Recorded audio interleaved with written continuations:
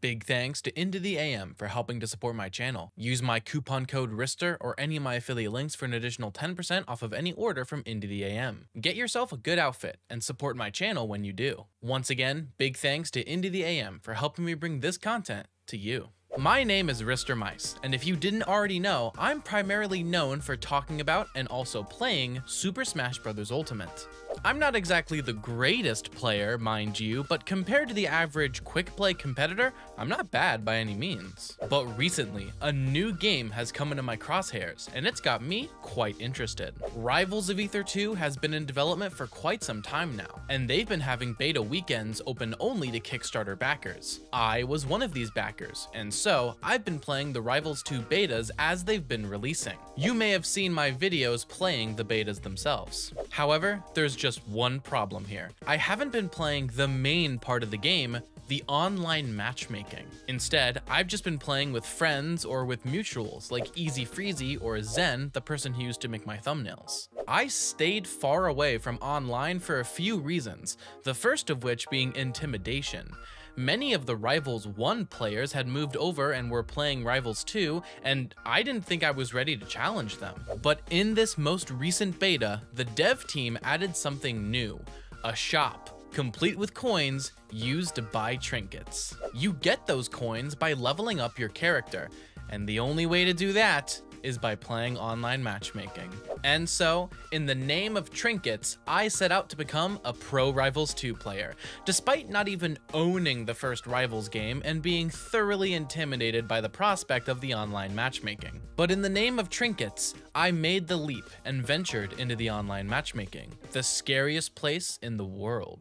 Right away, I was faced with issues, and allow me to fully reveal my biases. I do not like fighting heavies and platform fighters. I know, I know, just trust me, I don't have a lot of fun. It's a deeply irrational and deeply personal grudge. And wouldn't you know it, the most popular character in online matchmaking, at least in my experience, is a heavy, the mighty Loxodont.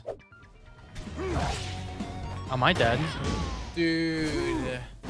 So with my journey already having a rocky start, I pushed forward and began to learn a bit more about the characters I was playing. I was primarily using Ranno, with a little bit of Clairen. I was drawn to Clairen for being a simple swordswoman, focused on positioning and precision to perform well. For a Smash player who's very used to swordies, it was a natural transition. Ranno, on the other hand, is a sneaky ninja-like character, using fast combos with amazing frame data that you'd see on characters like Greninja or Sheik. The key to Ranno is a tight combo game, and as I played, I began to get good at my execution.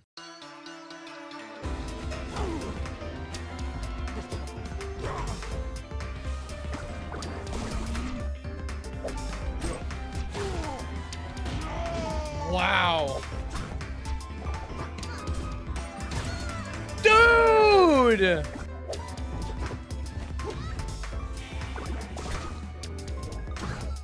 That should be it. Okay.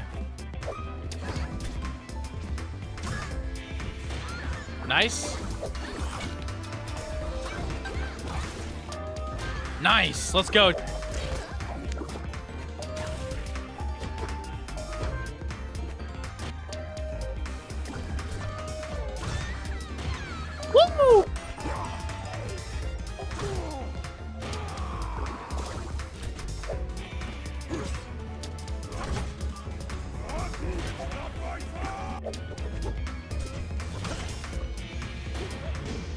Oh, damn. My fundamentals had carried over from Smash, but I still wasn't making a lot of headway. You see, no matter how many fundies I had from my mediocre Smash ability, some of these people have been playing Rivals 1 for years. And it may surprise you to learn that Rivals 1 is a lot more similar to Rivals 2 than any Smash game. But I was getting better, learning what I needed to improve on. Uh-huh.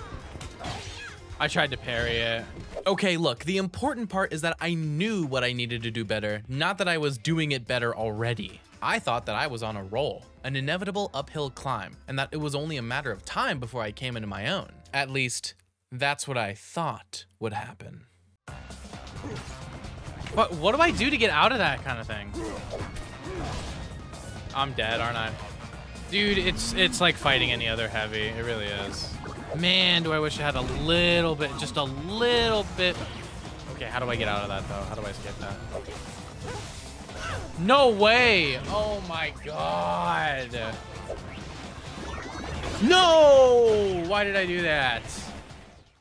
Dear viewers, I was in the gutter. As soon as I began to think that I was doing well, I began a losing streak unlike anything else. It was just loss after loss, and I began to slip into a dark place. My confidence and mentality was absolutely shattered, and I had no idea what to do anymore. I began to feel like there was no way I could catch up to any of these other players. I have been playing for three hours, trying to go up against people who have been playing essentially this game for like five years. It's so hard.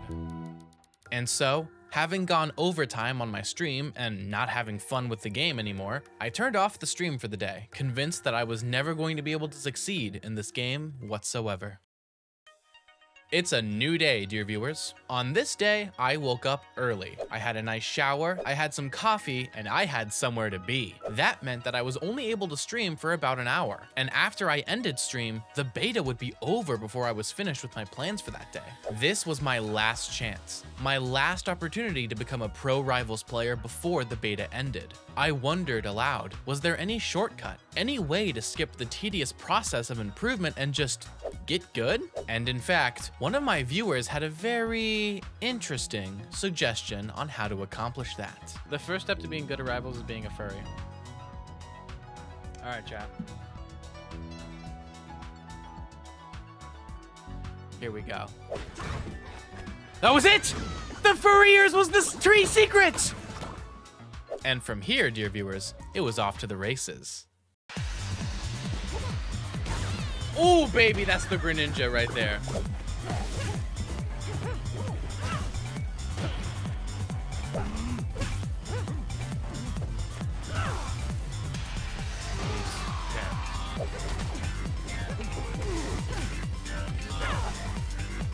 Will that kill? Oh my god.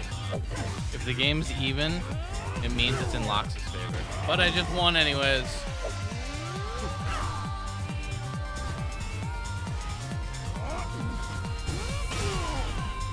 Oh my god.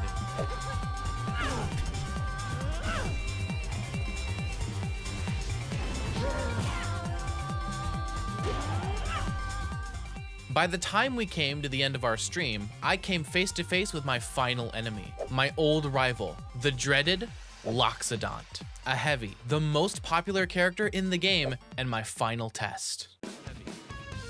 And so I don't know what his weaknesses actually are. Do they exist?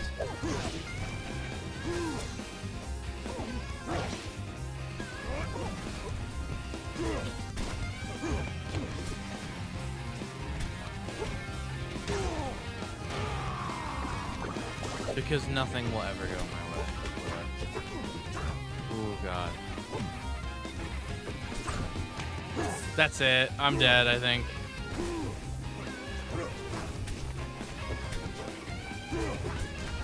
No, it didn't hit him! Please.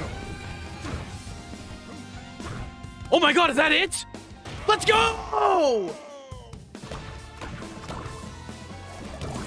I can't believe it. I actually did it. And finally, I had done it. I won. I beat my least favorite character in a clutch victory. And with that, I became a Rivals 2 pro.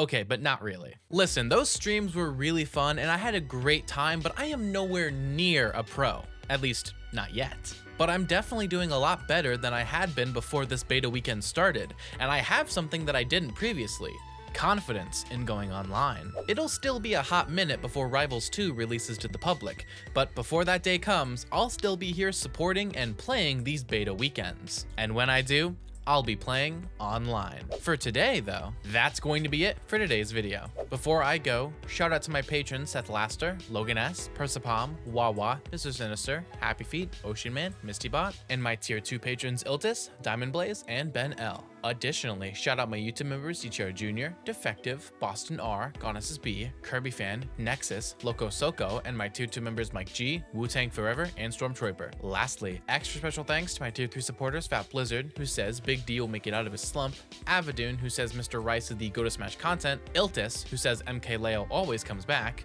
and Grant I Am. If you want to support me using any of these methods, links are in the description down below. Don't forget to use my coupon code RISTER in order to get 10% off of any order from Into the AM. And lastly, I want to give one last sincere thanks to Let Me Fly for their continued support of my channel. Link to their Twitter page is also in the description. Don't miss tomorrow's upload. But until then, I've been Rister Mice, and thank you all so very much for watching.